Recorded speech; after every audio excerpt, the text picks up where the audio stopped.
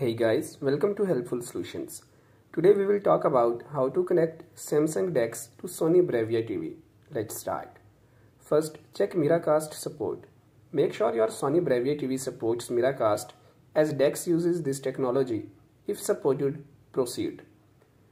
Using your TV remote, go to the source menu and select screen mirroring to prepare the TV.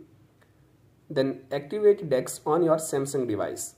Swipe down the notification panel on your device and tap the DeX icon. Select DeX on TV or monitor and choose your TV from the list. Tap Start Now to connect. Alternative solution. If wireless DeX is unsupported, consider using a wired connection.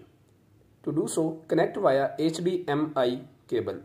Use a USB-C to HDMI adapter or DeX cable to connect your Samsung device to the TV's HDMI port. Unlock your device if prompted. DeX mode should automatically activate, displaying a desktop-like interface on TV. Thank you.